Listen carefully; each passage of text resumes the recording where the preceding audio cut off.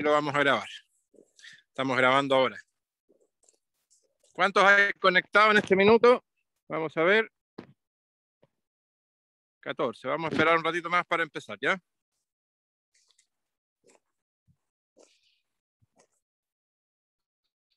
Estamos aquí en la zona de mm, comuna de Quinta Tircoco, sector de Huacargüe, un sector que está entre San Vicente y Quinta.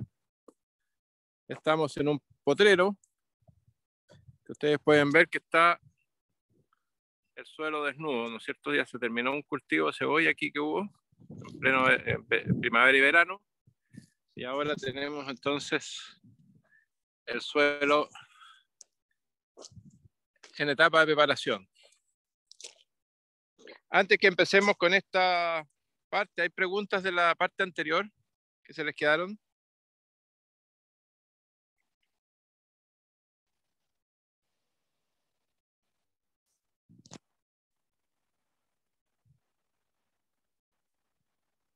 ¿Están conectados? Ah, no hay, no hay pregunta, ya. Bueno, aquí estamos en el predio, el agricultor está por llegar, andaba cosas que pasan en el campo, ¿no es cierto? Tenía justo que ir a pesar un camión, así que me dijo que en 20 minutos llegaba. Este es el predio de María José Sánchez, eh, que luego les vamos a contar su historia. Y ella se dedica básicamente al cultivo de hortalizas. ¿Ya? Eh, los cultivos, digamos, se han terminado eh, la etapa de los cultivos de la temporada 2020-21. Ya se cosechó, ¿no es cierto? Ustedes pueden mirar hacia atrás. Van a ver, me voy a acercar un poquito. Y van a ver los bins con producto que se está procesando. Estoy sin mascarilla porque estoy solo, así que eh,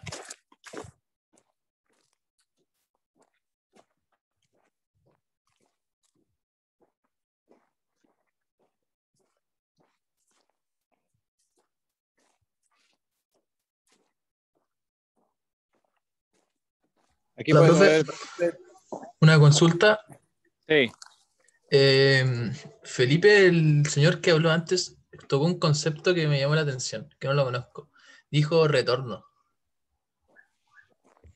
A ver, eh, explíqueme en qué momento lo dijo. A ver, dije, que aquí tengo. Yo lo dijo retorno cero. Mm, igual lo voy a buscar por la mía, pero prefiero preguntarle a usted. A ver, a ver em, lo más probable, no, no, no, recuerdo en qué momento lo dijo, pero lo más probable es que lo haya dicho desde el punto de vista económico. Cuando uno dice retorno cero, significa que eh, significa que si usted tiene una, un negocio y, su utilidad es cero, en el fondo usted gasta lo mismo que, que produce, su utilidad es cero y se, se, asimila a la palabra retorno como utilidad. Ah, y entonces esa pregunta para otro profe. claro, claro, es que, a ver, a mí lo que me interesa mucho de, de, de estas salidas a terreno, bueno, ahí, ahí, están viendo la faena de, de llenado bien. Familiar. ¿Ya? Me interesa mucho en esta salida de terreno, que me hubiera gustado hacerla presencial, pero ya que no se pudo presencial, la estamos haciendo así. Eh, me interesa mucho que ustedes puedan ver todos los factores, es decir, estamos en un ramo control de maleza, pero el control de maleza no es una cosa aislada. ¿Ya?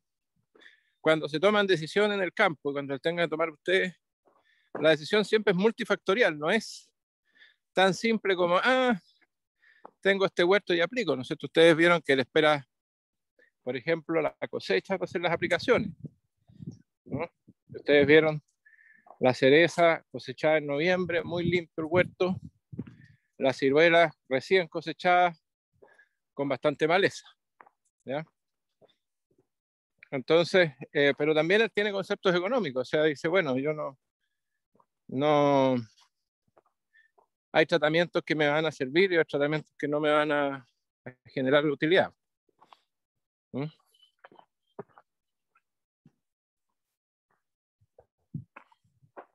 Bueno, aquí estamos recorriendo el, el, predio. Ustedes se fijan. aquí estamos en un punto donde se, se terminó, aquí se pasó rastra, ¿verdad? La rastra de disco que ustedes vieron allá. Y aquí entonces se está empezando a preparar suelo para las plantaciones de, de primavera. ¿ya? Ahora se está preparando el suelo. Fíjense la importancia de la labor. A ver si se puede ver ahí.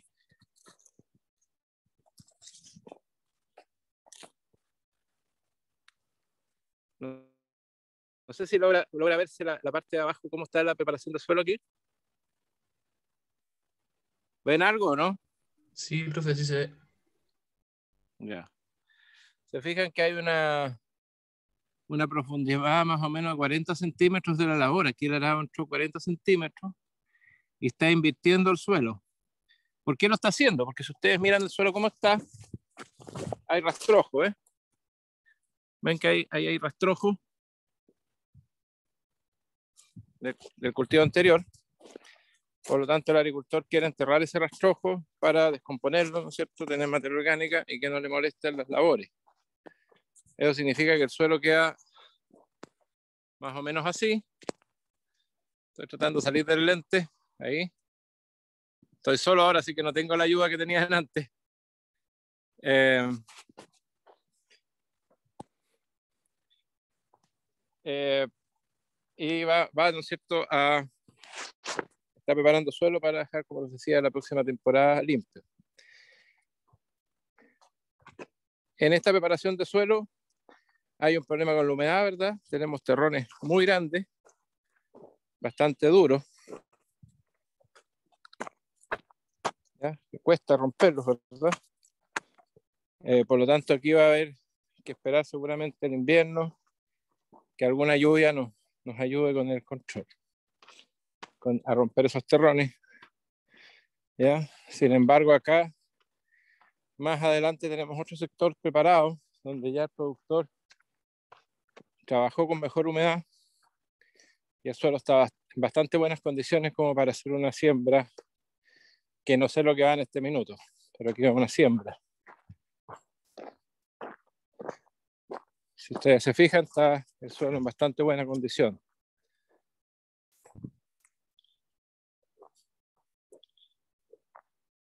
Están ahí, ¿no es cierto? Sí, profe. Ya, siempre mi temor es que que, se vaya la señal.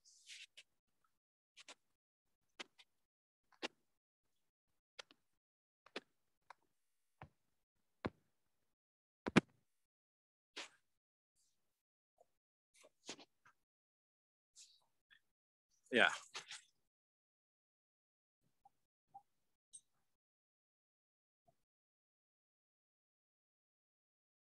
Bueno, aquí vamos a seguir caminando. Ustedes pueden, pueden ver en el predio vecino una plantación de ajo.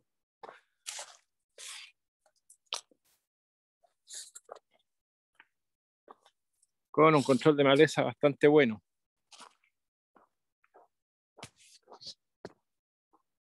Y seguimos avanzando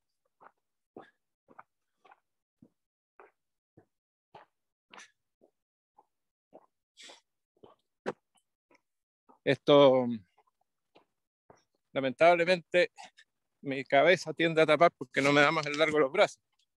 ¿ah? Eh, la idea es que vayan viendo el campo. Vamos a girar un poquito el teléfono. ¿Ya? Eh, y ustedes pueden ver que aquí, aquí tenemos un problema que es habitual en los campos. Fíjense, ¿qué es lo que ven ustedes aquí?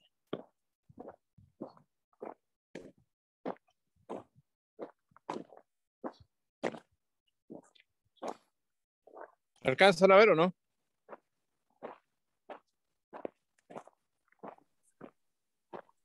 Eh, ¿Gramínea? Ya hay gramíneas, ¿no es cierto? ¿Y cómo están estas gramíneas? Súper alta. ¿Ah? Súper alta. Están. Super alta y miren. Ay, están semillando, ¿no? Están con semillas. O sea, aquí tenemos la fuente. Fíjense cómo está todo esto, es el canal. ¿Ves? Ustedes entran aquí. Esto es falso T. Tenemos zarzamora más allá. ¿La ven? Tenemos algo de suspiro ahí, unas flores más blancas. Un suspiro blanco, ¿ves? Flor de falso té. Tenemos correhuela aquí. ¿La ven?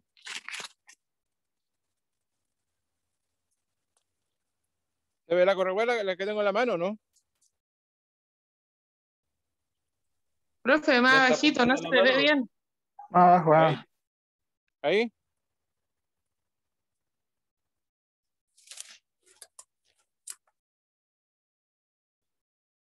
Ahí. Esa es correhuela, ¿eh? Ahí. Ahí sí se ve. ¿Ya? Entonces resulta que nosotros hacemos controles de maleza y tenemos esta zona donde tenemos la, la producción de semillas. Aquí, aquí estamos continuamente produciendo semillas. Entonces, eh, podemos hacer todas las labores posibles en este sector. Ustedes ven que está limpiecito, porque está recién preparado, está seco. Pero tenemos una carga de maleza aportada por esta franja, ¿no es cierto? Verde. Fíjese que tenemos semillas, eh, malezas que están emergiendo. ¿Ves? Ahí hay mostacillas. Ahí hay algunas gramíneas, poanos básicamente. Aquí hay una cicuta emergiendo. ¿Mm? ¿Se ve? Entonces, eh, hay una cicuta más grande. Vamos hacia un cultivo, eh, pero vamos caminando. Entonces, nos vamos a demorar un poquito, pero como les digo, este es, el, este es el problema de muchos predios. Tenemos semillas en los canales. Ustedes vieron que eso era un canal. Bueno, ahí tenemos otro tipo de malezas que no. Parte de nuestra cultura, ¿no es cierto? Unas botellas de cerveza por ahí. Eh, pero fíjense aquí cómo está. Yo no soy tan bajo y la, maleza me supera en altura.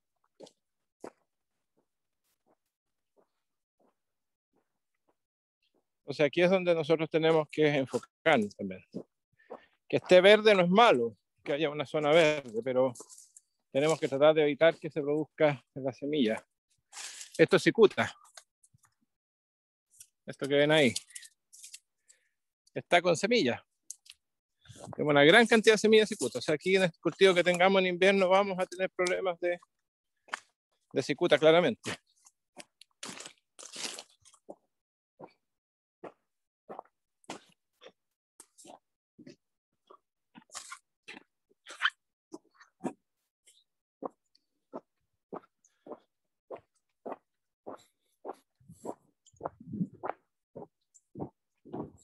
Hábleme algo porque parece que estoy solo.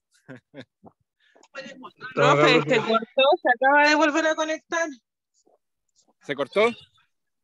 A ver si lo había escuchado. A ver. Profe, Pero ahora se escucha bien, profe. está bien, solo que es como mala la señal, pero ahora lo estamos Sí, viendo. sí, es mala. Es mala la señal, pero como les decía el otro día, prefiero arriesgarme a eso. Pero creo que aquí se- en una salida de terreno se aprende más que en una diapositiva. Sí, profe, se agradece caleta que, que usted nos enseñe así. Sí, muchas gracias. Vamos a ir perfeccionando este sistema. Por lo menos ahora aprendí a grabar. Delante no éramos tres y no supimos grabar. Ahora ya por lo menos sabemos Profe, grabar. ¿dónde anda ahora? ¿En qué parte del país? En este momento estoy en la comuna de Quinta Tilcoco, sector Huacargüe. Sexta región, o región del Libertador, como le quieran llamar.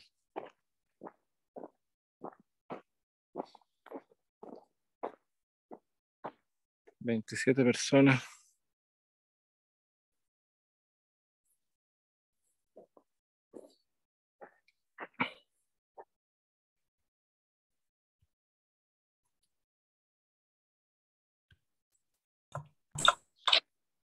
Parece que hay personas que se desconectan o recién vienen conectándose. Estamos admitiéndolos a todos.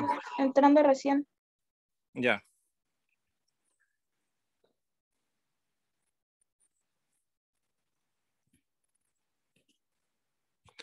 Lo malo es que desde el teléfono no me deja eh, dejarla abierta. Cuando estoy desde el computador yo puedo dejar abierta la sala de espera sin, sin sala de espera, digamos. Aquí entran directamente, pero aquí me, me exige admitirlos. Y es un poco lento. Ya. Em, bueno, acá vamos a pasar. Esto, esto es el campo como, como son los cultivos, ¿se fijan? Aquí a los que llegaron recién les vamos a mostrar los suelos eh, ya preparados para una siembra. No sé, no sé lo que va, cuando llegue el productor le vamos a preguntar. Pero eh, eh, ese, es el estado en que queda un suelo después de echar las labores, ¿no es cierto? Que les va a contar María José, que es el productor. ¿Ya?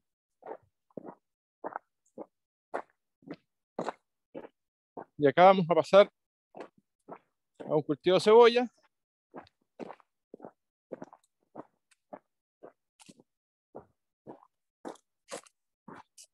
Falta poco.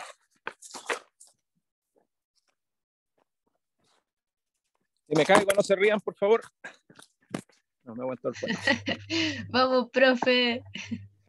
no, que había un puente que un puente de madera, no sabía si me iba a aguantar o no. Ya. Aquí ustedes ven un cultivo de cebolla. Si ustedes se acercan, vamos a encontrar con la cámara y ahí está la planta de cebolla. ¿La ven o no? mi mano. Un poquito más sí. profe. Se ve la hojita. ¿Ahí? Ahí sí. Ahí justo, profe. Aquí tenemos la planta de cebolla que está con tres hojas verdaderas. Pero aquí al lado tenemos la consabida chufa, ¿verdad? Tenemos un, un barcacho que está afectado, por eso ustedes ven ese color morado. ¿ya? Y cuando uno aplica herbicidas de los, del grupo de los ALS, en este caso fue eh, H1 el producto comercial, ustedes hacen un, tiran la maleza y van a ver que los internudos están café. ¿eh? Aquí ya está bastante avanzado el estado de control. Vamos a buscar una maleza que esté un poquito menos, menos avanzada aquí.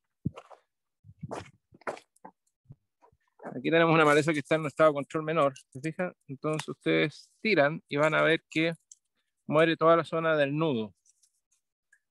¿Ya? Y ahí la maleza ya está. ¿La ven o no? No, profe, ¿y ese control es completo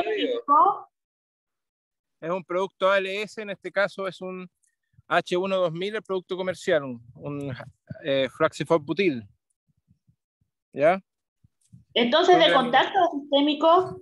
No, es sistémico. El producto, usted lo aplica, es absorbido por el follaje y traslocado. Entonces, cuando se trasloca, cuando llega al nudo, ejerce su acción sobre el nudo. ¿Se fija? ¿Lo ven ahí o no? Un poquito más abajo, profe. Más abajo, profe. Ahí. No, es ahí. Ahí. ¿Se fijan? Ahí sí. Ya. Ahí, ¿ven? ¿Se fijan que está café esta zona? Sí. ¿Se alcanza a ver? Sí, sí, ahí se Ya. Esa es la forma de saber que un herbicida tipo ALS ejerció su control.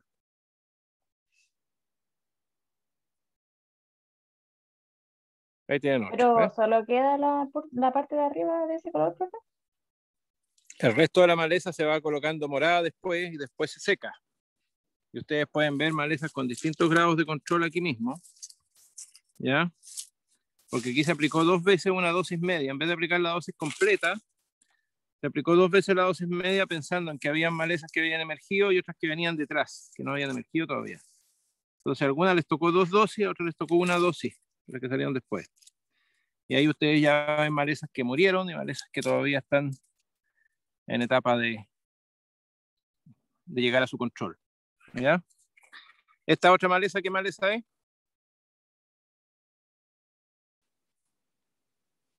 No se ve. Ahí se ve. Cicuta. Cicuta, muy bien. Cicuta está parcialmente afectada por herbicida, esta maleza es muy dura. En cambio, acá ustedes ven un suspiro que está bastante afectado por los herbicidas que aplicamos. ¿Ves? Está doblado.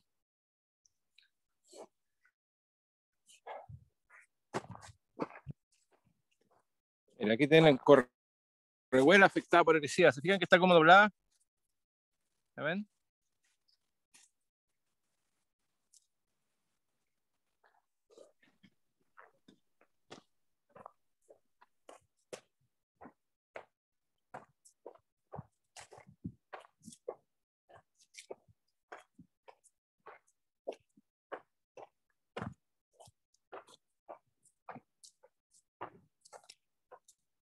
Ustedes pueden ver, eh, este pochero está altamente infectado por la, ¿cuál es la maleza principal que ven ustedes aquí? Chufa. Chufa es la que está resistiendo los tratamientos, ¿no es cierto? Aquí ustedes pueden ver claramente que la chufa no es de la familia de las poáceas, porque las poáceas están totalmente controladas por el, herbicida y chufa, sin embargo, está muy bien, no tiene ningún problema. Nosotros empezamos a hacer tratamientos el lunes para esta maleza, que si ustedes se miran para allá, fíjense cómo está la chufa. ¿La ven? No mucho, profe, para que lo va a mentir. ¿Son los manchones café? No, los manchones café son las gramíneas, el huarcacho. Todo lo verde, ¿no? Todo lo verde que ustedes ven es chufa, parece un césped, ¿no? Ah, Debajo de eso hay cebolla. Debajo de eso hay cebolla. ¿Ya? Ahora, ¿qué creen ustedes que va a pasar con este cultivo? ¿Va a ser deficiente? Claro, aquí nosotros lo que hacemos es como lo sembramos un poquito antes para darle tiempo a que a que controlemos la chufa. ¿Ya? Pero esta va a ser una aplican un nuevo contacto, profe? No, en este caso estamos haciendo un tratamiento, estamos innovando aquí. Estamos usando metolaclor, ingrediente activo metolaclor, aplicado a través del río por goteo. ¿Ya? Pero ¿por qué los traigo aquí? No es tan simple como decir, ah, controlo chufa tirando por el goteo, meto la en cebolla. Primero, la chufa tiene que estar idealmente más chica que esta. O sea, estamos partiendo contra toda la, la predicción. En segundo lugar, la cebolla tiene que tener menos dos hojas verdaderas. ¿Ya? Por lo tanto, no podíamos aplicar cuando sembramos. Cuando sembró, el productor aplicó para quad para eliminar la maleza que había disponible. Emergía, ¿no es cierto? Pero ahora el productor está simplemente, empezó el día lunes 5, hizo la primera aplicación de dual y lo que hemos visto es que el dual, a medida que la cebolla está más grande, resiste mayor dosis y a medida que está más chica, resiste menor dosis. Y además lo que hemos visto es que el dual tiene poca solubilidad. Entonces, si yo lo aplico por el goteo y aplico toda la dosis de un viaje, voy a tener un problema de que no se va a mover en el suelo, se va a fijar a las coloides, ¿verdad? Y voy a tener entonces un mal control de chufa porque yo necesito que llegue hasta donde están las raíces. Entonces, lo que hemos aprendido a hacer, que lo hicimos este año, que es la innovación que hicimos, es dividir la dosis de dual en muchas aplicaciones por goteo. Entonces, en vez de aplicar 3 litros, que es la dosis total, Aplicamos 350 cc la semana pasada, vamos a aplicar esta semana nuevamente 350 cc hasta que vayamos poniendo la chufa amarilla. Ahora, ¿qué otra cosa creen ustedes que va a pasar con esta maleza aquí? No piensen en herbicidas, piensen en, en las épocas que estamos. ¿Ah? ¿Se va a integrar Profe, una pregunta. ¿Qué le va a pasar a esta maleza en un mes más? Probablemente. ¿Se puede secar? ¿Por qué? ¿Por el clima? Pongan ustedes que no aplicáramos dual. ¿Qué pasa aquí?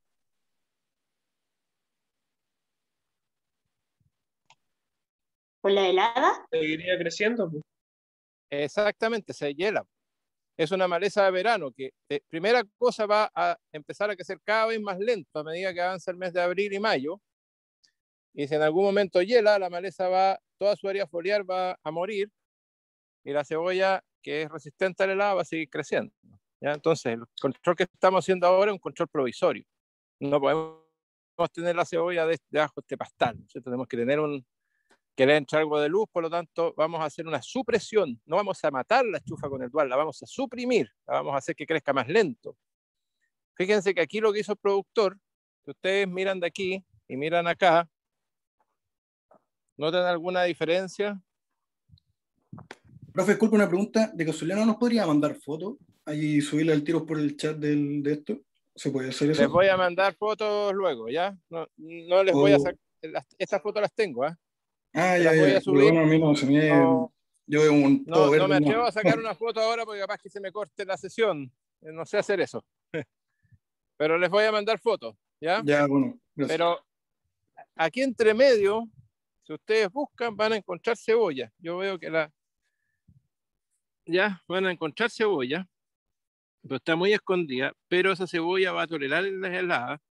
La cebolla puede tolerar 8 grados bajo cero sin ningún problema y la maleza, habiendo heladas, va a morir. Pero mientras tanto, el dual eh, tiene un efecto supresor. Lo que les quiero hablar es del efecto supresor. ¿ya? Suprimir no es lo mismo que matar. Suprimir es hacer que la maleza crezca menos, que se detenga el crecimiento o que crezca mucho menos que el cultivo. ¿ya? No siempre controlar malezas o manejar malezas significa matarlas. A veces lo que yo busco siempre en cualquier control de malezas, de insectos, de enfermedades, es evitar el daño económico.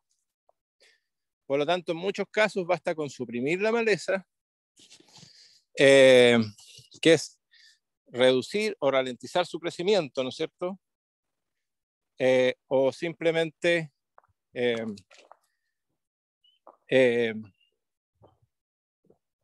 bajar su área foliar en algún momento, ¿no es cierto? colocando la maleza amarilla, ¿verdad? Eh, para que la competencia con mi cultivo sea menor y el cultivo pueda salir adelante. Y aquí tenemos otro caso de, de ralentización. Estamos en otra parte del cultivo. Aquí ustedes miran, no sé si ahí alcanzan a ver las líneas del cultivo. Sí, profe. Sí, ya. Pero si ustedes miran acá, van a ver que hay una gran cantidad de maleza. ¿Se fijan? ¿eh? Esto es un chamico, esto es una cicuta, pero ustedes me dicen, pero esto no parece chamico, no, esto está afectado por un herbicida. No está muerto. Profe, pero... ¿puedo bajar un poco la cámara? ¿Cómo? ¿Puede bajar un poquito la cámara? ¿Ahí? Eh, sí, gracias. Ahí ustedes ven el efecto, de, eh, en este caso, de estarane, herbicida fluroxipir, sobre un chamico, ¿ya? que está completamente este es un herbicida de los, de los tipos auxínicos, ¿no es cierto? Tiene un crecimiento desordenado aquí, se está partiendo acá, ¿ve? el crecimiento de la raíz es mínimo. Este es el efecto típico de un herbicida auxínico. Profesor, cuando el herbicida ya hace caso, o sea, hace efecto, después tiene que haber una limpieza manual o se deja incorporado al suelo.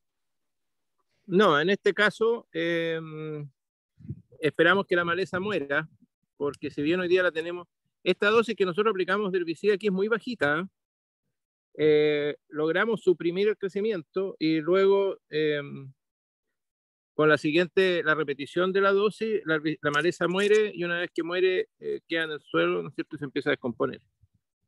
¿Ya? Pero aquí lo que, lo que sí va a haber que sacar manualmente porque es resistente a este tratamiento es la cicuta. Ya, la cicuta se va, una vez que el chamico esté muerto, la cicuta se va a entrar a sacar a mano. ¿Ya? Ahora, esto es aquí en la punta donde el tractor pasó más rápido. Si ustedes miran acá, acá tenemos un poco de chufa, de nuevo, ¿no es cierto? Y acá tenemos bastante más limpio. ¿Se fijan? ¿Por qué? Porque aquí había menos maleza y estas malezas, ¿no es cierto? El chamico quedó bastante jodido. Hay otra. Esa maleza, no sé lo que es. Profe. ¿Sí? ¿Y esa falta de maleza no se puede haber debido por algún carryover a lo mejor? No, no, porque si ustedes miran la cebolla está impecable, está con mucho vigor. ¿Ya? Eh, esto fue porque eh, cuando se hizo la siembra, ¿qué es lo que hicimos aquí? Regamos antes de sembrar. ¿Ya? ¿Con qué objetivo? Eh, activar la maleza. Después sembramos. Y después, antes que emergiera la cebolla, pero ya con maleza emergida, se aplicó un herbicida a contacto, que eliminó mucha maleza. Ahora, eh, en las partes donde había más sombra, no había germinado tanta maleza antes de esa aplicación de herbicida a contacto, y por eso tenemos, tenemos maleza más grande. ¿ya? En las zonas donde, eh, porque allá está la sombra de los, de los árboles, ¿se fijan? Hacia allá.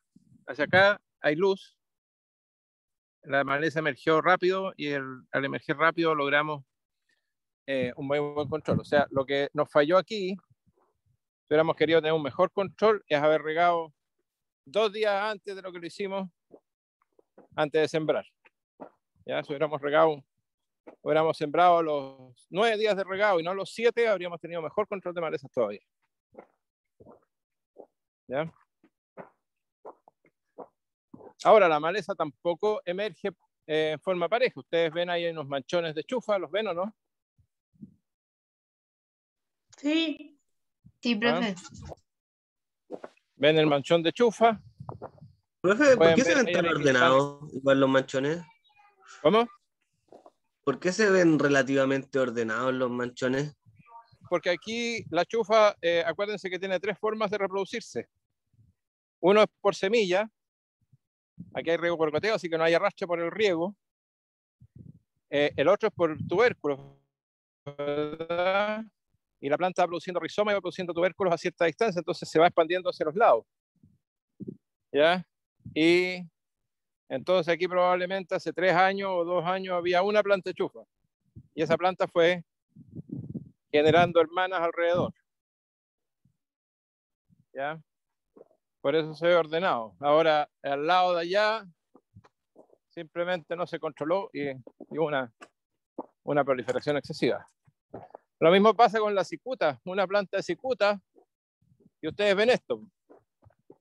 Miren la cantidad de plantas de cicuta, que hay un manchón, ¿se fija? Aquí hay una planta que botó semilla y generó este manchón de cicuta. ¿Ya?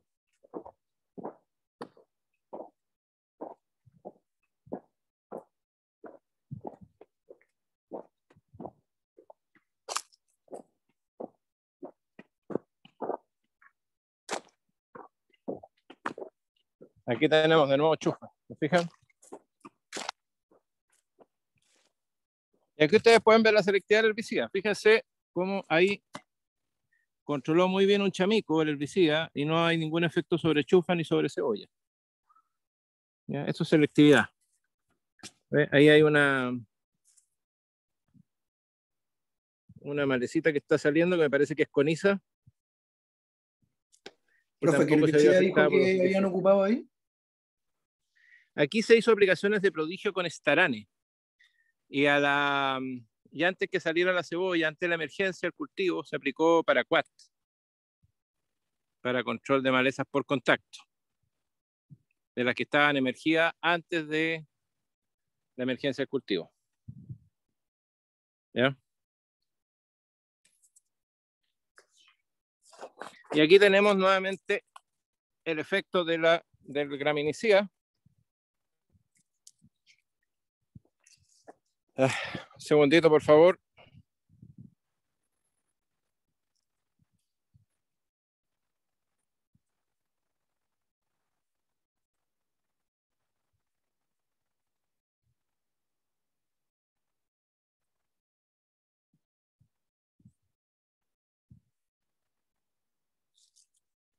Ya, aquí tenemos el, el efecto nuevamente de de graminicías, ustedes se fijan, la punta está con daño, ¿no es cierto? Yo al tirar la maleza sale con bastante facilidad. Vamos a buscar otra planta.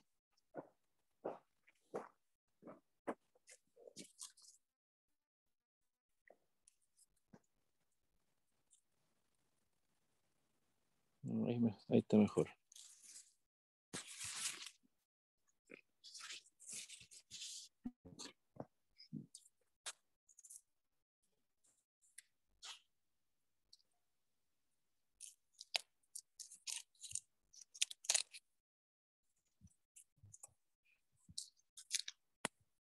Ustedes ven que sale con bastante facilidad. Ese es el efecto de el graminicida. ¿Ya? ¿Lo vieron?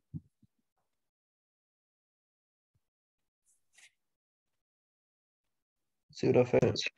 Ya.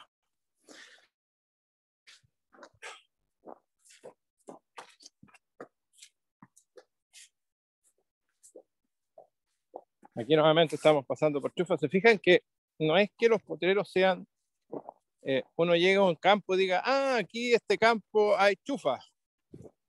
Si usted entra por una esquina, va a ver esto. Si usted entra por otra esquina del potrero, ustedes miran para allá y entran por la esquina de allá, van a ver otra cosa. Y no van a ver chufa, y van a decir, no, no hay chufa.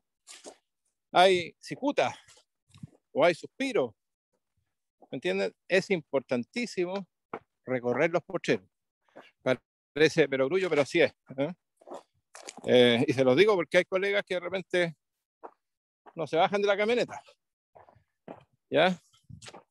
Entonces, eh, ellos ven una cosa, pero no ven la realidad completa. Por eso hay que, hay que bajarse, hay que mirar, hay que tocar, hay que oler. No siempre saborear. Sí. Entonces, si usted quiere controlar un predio, sería como lo más recomendable controlar las malezas, o sea, antes de sembrar, regar para que salgan malezas, ¿cierto? es como el paso uno. En las siembras directas lo ideal es regar, no siempre es posible, ¿ah? No siempre es posible, estamos hablando de lo ideal. Lo ideal es regar siete o nueve o diez días antes de sembrar para tener las malezas activadas, cosa que cuando yo mi cultivo eh, lo pongo a activar, van a pasar 5 o 6 días antes que emerja. En esos 5 o 6 días yo controlo mucha cantidad de malezas por contacto. ¿Ya? Hay cultivos como la soya, el maíz, la papa, que tienen herbicidas preemergentes que yo puedo aplicarles y eh, el herbicida es selectivo desde la germinación al cultivo. Pero en caso de muchas hortalizas, no, como este caso. Yo no tengo un herbicida que yo pueda incorporar al suelo y después sembrar la cebolla y no vaya a afectar la cebolla, pero sí a las malezas. Entonces tengo que eh, hacer las aplicaciones posteriores. ¿Ya? Miren, si ustedes miran acá, acá no hay chufa. Si ustedes entran por este lado del porchero, me van a decir que no es un problema la chufa. Por eso que es importante recorrer siempre el cultivo completo, no quedarse con la, la idea de una esquina. Los agrónomos no necesitamos ir al gimnasio, caminamos harto.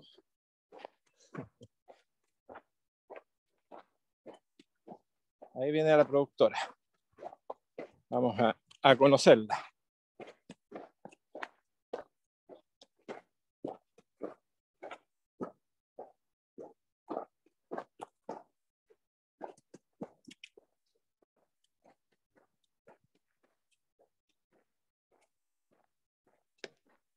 Disculpe, profe, no sé si lo dijo antes, que me conecté un poco tarde.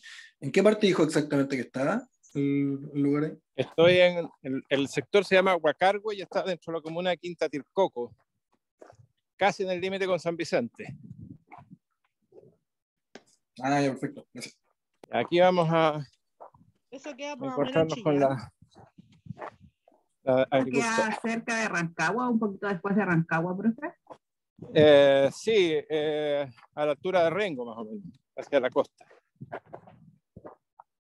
Buenas tardes, aquí está María José Sánchez. Hola, hola. Ella es la productora. ¿Qué tal? Perdón el atraso. Bien. María José. Hola, hola, hola. Hola. Te voy a pedir que te presentes y cuentes tu historia. Perfecto, yo me llamo María José Sánchez, eh, llevo acá en el campo en este rubro casi 11 años produciendo hortalizas. Eh, nuestros principales cultivos son cebolla, en algún minuto fue el ajo, que lo abandonamos, eh, cucurbitáceas, melones, zapallos, zapallos butternut, zapallo italiano. Esos son nuestras, nuestros cultivos fuertes, algo de choclo, algo de maíz comercial. María José, ¿tú estudiaste? Estudié agronomía, sí, en la Católica, en Santiago. Salí hace eh, chuta, como 13 años ya, 14 por ahí. Ya, se, ya, ya perdí la cuenta. Varios años ya. Eh, eh, cuando tú empezaste, empezaste el tiro con, con, el campo completo? No, partimos, bueno, primero partí trabajando en una empresa vendiendo productos químicos y después me vine acá, partí con 7 hectáreas, después al año siguiente subimos a 15, después a 20, 22, 30, 35 y hoy día vamos en casi 50 hectáreas en producción. Trabajo con, con mi hermano, somos socios. María José, ¿cuáles cuáles las dificultades mayores que has tenido en el, en el campo? La gente. la mano de obra, sí. Normalmente es lo más, es lo más complicado. Eh, sí, no, la gente. ¿Y cómo lo estás solucionando? Con mecanización, 100%. Sí, ese, ese es el camino. O sea, la, la, la, gente no es que no vaya a haber gente, va a haber menos, pero esas personas tienen que hacer un trabajo eh, más calificado y tener la opción también de tener un sueldo más mejor, por hacer un trabajo mejor también. Pero así gente para hacer trabajo de desmalezado, cosas de ese estilo, trasplantes, hoy día es complejo, muy complejo. ¿Y qué parte del sistema están mecanizando? Todo, ojalá. Eh, hoy día nosotros en la cebolla estamos mecanizando la siembra, que es el, el, primer paso, y para el próximo año esperamos poder mecanizar la cosecha, la arranca de la cebolla y del, idealmente también la recogida de la cebolla. Nosotros hacemos cebolla guarda, así que para nosotros es un costo importante el tema de la guarda.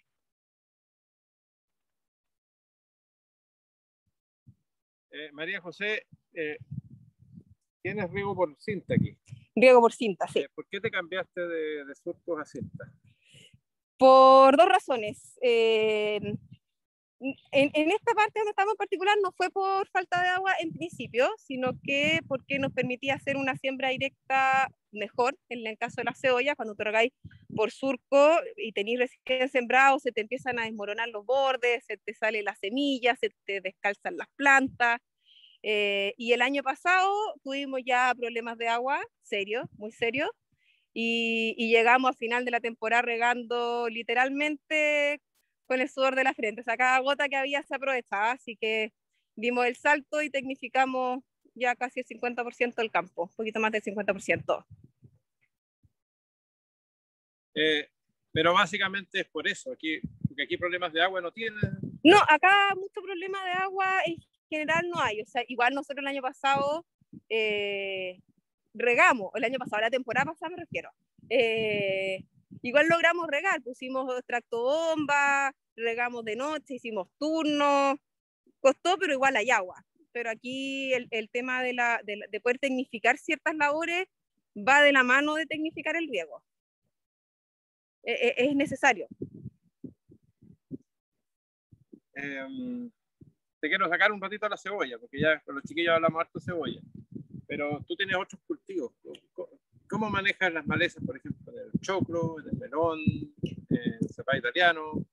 Miren, en, en, en, en, los melones, o sea, en los cucurbitas en general usamos mulch, eh, lo que te saca encima gran parte de la maleza, y entre medio de los surcos, o sea, de, la, de las hileras, digamos, hacemos control mecánico y cuando las plantas están pequeñas hacemos control con herbicida, con gramoxone o con Roundup, con, con campana, con pantalla para no quemar las plantas y después se pasan cultivadoras eh, y al final lo último, último, último se hace con gente, pero ojalá sea lo que se te arrancó solamente. En el caso ¿A qué de te los refieres con campana? se pone, es una, un, un, está la boquilla y se pone como una, una pantalla. Eh, pa, pa, mandar una foto después. Le vamos a mandar una foto, eso. Es para, en el fondo para pa evitar que la deriva te caiga al cultivo. Es como un, un, literalmente una, una campanita, así que, que, que, contiene en el fondo el, el, el líquido. La, la, campana evita que el producto, hace que el producto caiga solo en el lugar donde estoy aplicando y no caiga hacia los lados. Claro. Ahí le vamos a mandar la foto. Y en el caso de los choclos, herbicida pre-siembra, post-siembra, ¿ah? usamos atracina, normalmente pre-siembra, eh, y post-emergencia, en el caso de los choclos, usamos nuevamente atracina y... Mmm, un segundo, me estoy acordando el... Basagran. Hemos usado y el otro es el Accent. En el caso nuestro, tenemos hartas limitantes con los herbicidas post-emergentes, porque nos queda residuo en el suelo y no podemos poner los cultivos que queremos al año siguiente. En el caso, por ejemplo, de los choclos, podríamos usar el Soeran o el, no, el Option Pro para el maíz, pero esos, esos, esos dos herbicidas no, nos limitan las opciones para el año siguiente porque tiene que ver muy alto, o sea, muy, muy largo. Entonces ahí no, no podemos usar las mejores opciones, pero usamos las segundas mejores opciones, que son más caras, que son buenas. Y el zapallo italiano, bueno, es igual que el melón. En la cucurbitácea en general lo hacemos en todas iguales. Con mulch. Con mulch. Oye, vamos a aprovechar que está, demos vuelta. Vamos a aprovechar de ver una aplicación de, de herbicida con barra aquí en el cultivo. Disculpe, ¿qué tipo de mulch utiliza? ¿Cómo? ¿Qué tipo de mulch utiliza? Polietileno. Ah, ya. ¿Y el color de casualidad? Usamos normalmente negros, negros por ambos lados. Y antiguamente, Ya. antiguamente, hace tres años atrás, usábamos transparentes, porque te permitía tener más precocidad. No sé si se alcanza a ver el tractor, ahí sí. ¿Se ve el tractor ahí o no? ¿Aplicando? Sí. Sí. Gire un poquito el teléfono, profe. Un poco más a la izquierda. Ahora sí, desapareció. Al otro lado. Ahí sí. Ahí.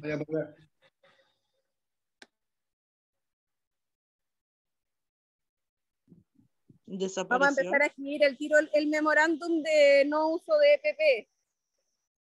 Hasta clarista, mire. Ah. Está usando solamente la mascarilla. Eso cuando nosotros decimos que el problema de la gente eh, es un factor limitante siempre porque nosotros les entregamos, les hacemos charlas, les explicamos, pero Tienen los equipos, ¿no es cierto? tienen todos los equipos, todos. Están limpiecitos. Están muy limpios en su envase original probablemente. ¿Qué está ¿Qué están aplicando? aplicando? ¿Qué están aplicando? Te lo puedo corroborar en 20 minutos más. Que no di la orden, yo la dio mi socio. Con cono hueco. Y con aire. Hoy día le tocaba, hoy día es lunes. Hoy día. tocaba, eh, Microsoft Fosfito. Mancosep con fosfito.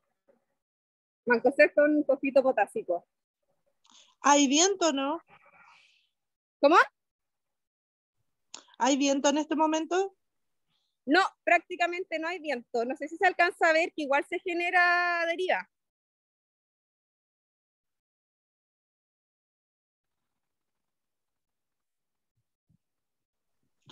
¿Y ahí qué cultivos van a poner después? ¿Próximo año? Sí, después de cebolla. Después de la cebolla, probablemente choclo. Esta es una cebolla eh, que se llama tipo overwinter, que es una cebolla que se siembra en, en verano y se cosecha en primavera, en, en salidas de invierno. Por lo tanto, da tiempo para colocar eh, otros cultivos después. No, es la, no es la cebolla tradicional de guarda que se cosecha en marzo. Ahora sí nos vamos a tener Esta se correr. siembra en, a principios de marzo y se cosecha en septiembre. ¿Ya? Chiquillos, más preguntas porque se me está acabando la batería celular. Cosas que pasan. Profe, ¿por qué dijo eh, la encargada que dejaron de, eh, o sea, producir ajo? ¿Qué factor influyó ahí? Económico. Ah, Pero pregúntenle a ella. Sí, principalmente económico. El, el ajo es, es un cultivo fácil, entre comillas, de producir, el- el- la mantención del cultivo es fácil, pero una vez que llega la cosecha, está ahí en manos de cinco o seis compradores y se hace muy difícil la venta. No es, no, no es de grandes utilidades. Tiene años muy buenos, pero los años malos son mucho más. Por ejemplo, eh, ¿ustedes los cosechan con cosechero, el ajo? No, el ajo era un cultivo que teníamos 100% mecanizado, desde el desgrane del, de la semilla, la siembra, la cosecha, todo. Teníamos todo mecanizado. O sea, pero lo único que Mm. usábamos gente era en el invierno para sacar algunas malezas. ¿Pero alguna vez lo cosecharon con gente? Sí. Al principio, Lo pregunto, cuando se lo partió, pregunto, por ejemplo, si el ajo sale 150 pesos, ¿cuánto le pagan finalmente al cosechero? al, al que cosecha, al que desmocha, dices tú, Sí, a los desmochadores les pagan más o menos entre 20 y 23 mil pesos por un beans desmochado, que son aproximadamente 330, 340 kilos.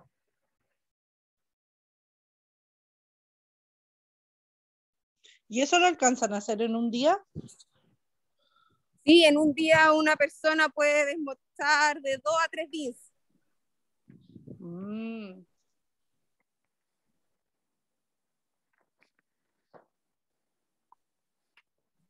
¿Qué es más beneficioso para ti, tener gente cosechando o mecanizar?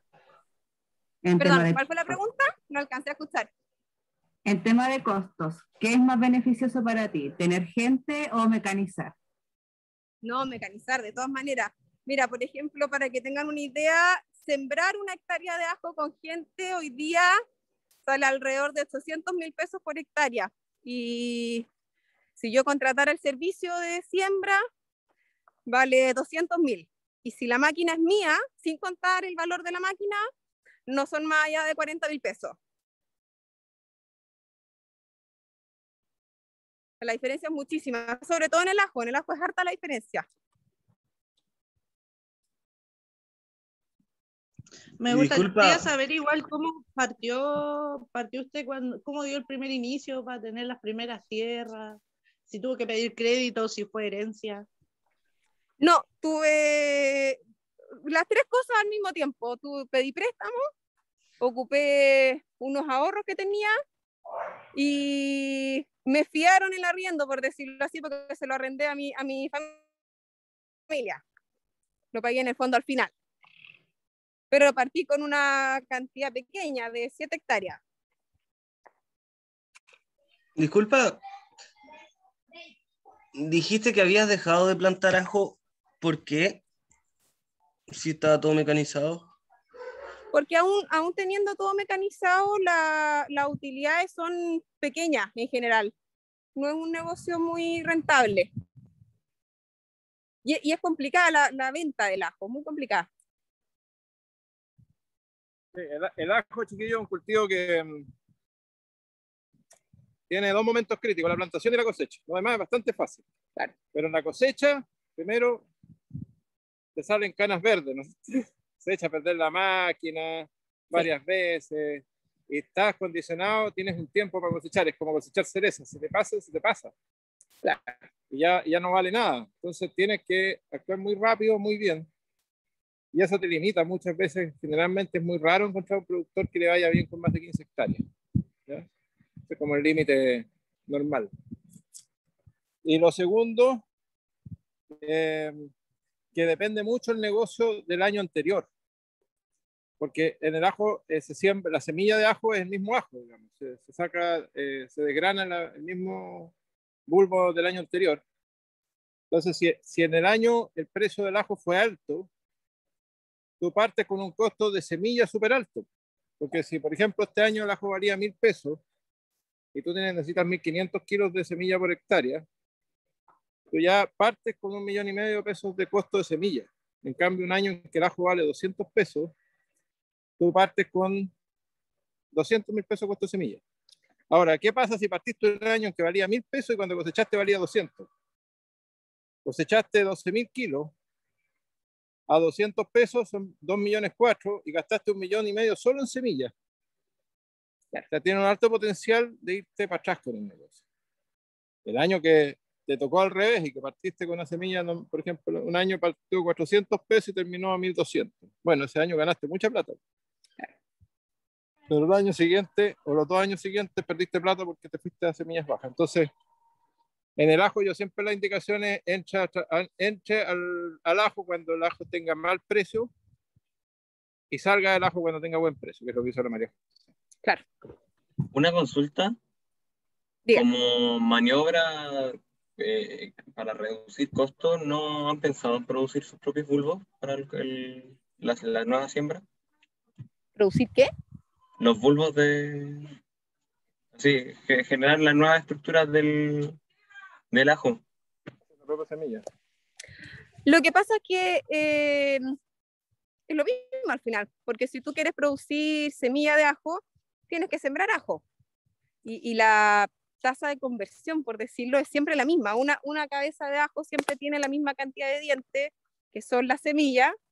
Entonces, si tú produces tu propia semilla, igual te estáis, en el fondo estáis perdiendo de vender esa producción y la conviertes en semilla. Claro. Igual tienes que costearlo. Pues en el fondo, por ejemplo, dejaste 15.000 kilos para semilla, pero esos 15.000 kilos no los vendiste, era parte de tu cosecha. Entonces tienes que valorizarla al valor comercial.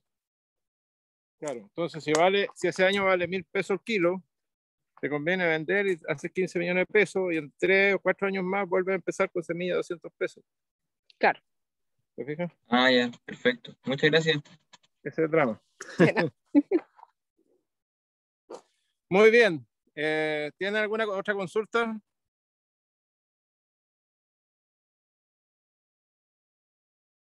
Ya, les voy a agradecer a María José que nos haya atendido. Yo sé que le tuvo que correr para llegar, pero... llegué, tarde, pero llegué. Así que le agradecemos mucho. Y gracias. Sí, muchas gracias. Estuvo muy dejar interesante. la clase hasta aquí eh, porque se me está acabando la batería celular. Pero creo que quedo contento con lo que logramos hacer. Vamos a tratar de hacer otras clases así por ahí. ¿eh? Sí, gracias, profe. Bueno. Muchas gracias, profe. Estuvo re bueno. Gracias, profe. Vamos a la aula para que la. Gracias. por la foto. Muchas gracias. Que estés bien. Chao, chao. Que tengan buena tarde. Igualmente, todo.